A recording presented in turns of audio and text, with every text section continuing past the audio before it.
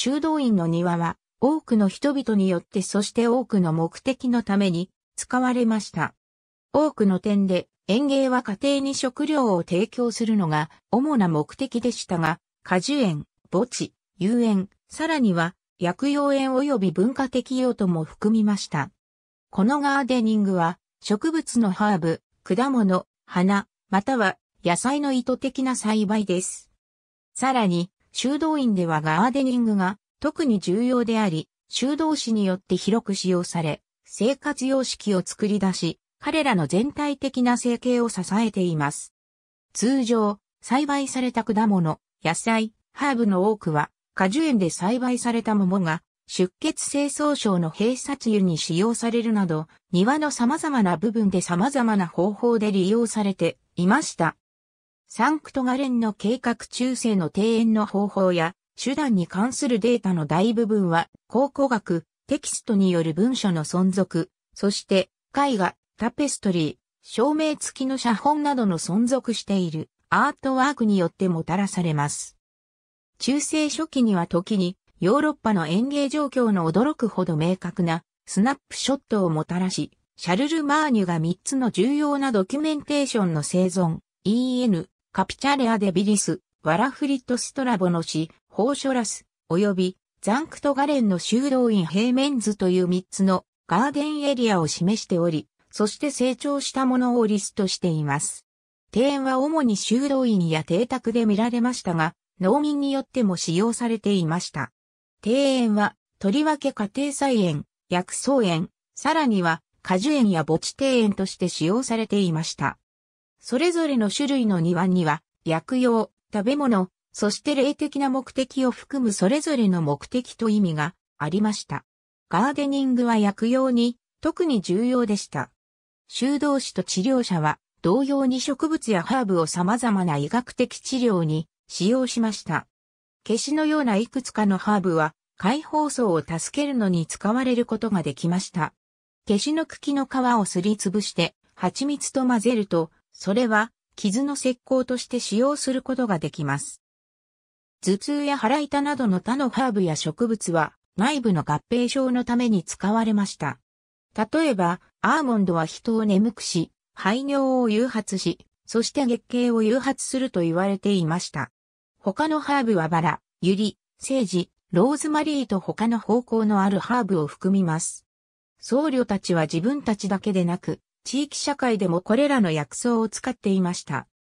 男女療法を収容しており、著名なヒーラーの一人は、最終的には魔術師に選出されて、後に彼女自身人里離れた修道院の世話をするという二重に、修道院に住んでいたヒルデガルト・フォン・ビンゲンで残した広範な執筆の他に、イングランドのヘンリー2世、聖ローマ皇帝、そしてビサンティウムの皇后、そして地域社会を含むヨーロッパ中の人々によって定期的に訪問されました。ヒルデガルドはヒーラーとしての仕事と医療テキストの執筆のために最初の女性医師とみなされました。マウントグレース修道院の再建された修道士の房の庭園彼らの食料供給のために一般的な庭園が必要でした。野菜の中にはニンニクなどの薬用にも使用できるものもありますが、必ずしもそうとは限りません。修道士たちは主に野菜と果物の食事をしていました。でんぷんや風味の高い野菜が庭に求められていました。コテージガーデンは野菜を収容するために広く使用されており、典型的にはもっと自然のように見えました。しかし、コテージガーデンのパッチは、アリウム系などの野菜系に分類されていることが分かりました。この属はニラ、玉ねぎ、ニンニクで構成されていました。一般的には、次の野菜が含まれています。果樹園や墓地庭園も中世の修道院で作られていました。植生は、リンゴや梨などの果物を提供するだけでなく、聖ベネディクトの規則によって要求されていた修道士のための手作業を提供します。聖ベネディクトによれば、怠惰は魂の敵であり、修道士にとって日常生活は主について、学び魂のためのその精神的な戦いと、戦いに費やされることを意味していました。それで、僧侶たちは忙しくして怠けないようにするために肉体労働と精神的な読書を用いました。一般的な果樹園と非常によく似ている傾向があった墓地庭園もまた天国と楽園の象徴としての役割を果たし、従って精神的な意味を提供しました。1966年に再現されたモン・サン・ミッシェル修道院の瞑想庭園には、告げの木とダマスクのバラが飾られています。この時期の修道士は通常、毎年天候と星を使って宗教上の祝日を決めます。彼らはまた天文学を使って自分たちの庭を植えるのに最も良い時期と収穫するのに最適な時期を考え出すのに利用。庭園の構造に関しては保護のためにしばしばフェンス、壁、または生垣に囲まれていました。石やレンガの壁は邸宅や修道院など富裕層によって一般的に使用されていました。しかし、バトルフェンスはすべてのクラスで使用されており、最も一般的な種類のフェンスでした。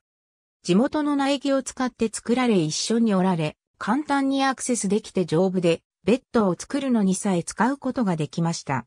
茂みは庭に食料と保護両方を供したので、柵としても使われました。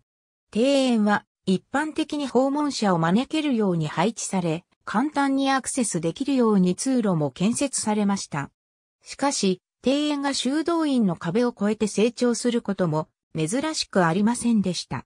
灌漑と水源は庭を生き続けるために不可欠でした。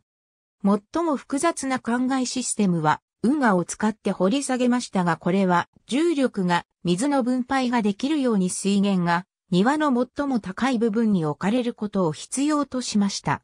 水路はベッドの隣の通路を通ることができるので、これはより一般的に高床式庭園で使用されていました。家庭菜園の池も14世紀から15世紀にかけて使用され、装飾的な価値も提供することを目的としていました。肥料を池に入れて施肥し、水を池からまっすぐに取って植物に水を与えた。当時使われていた道具は、今日、庭師が使っているものと似ていました。例えば、ハサミ、熊手、クズ、スペード、バスケット、そして手押し車が使われていて、今日でもなお重要です。サムポットと呼ばれる、じょうろのような働きをする道具さえありました。粘土から作られて、親指鍋は底部と上部に親指穴に小さな穴があります。鍋を水に浸し、水が必要になるまで親指台の穴を塞いだ。穴が開いた鍋はまた一定した湿気のための植物にかかるのに使用されていた。ありがとうございます。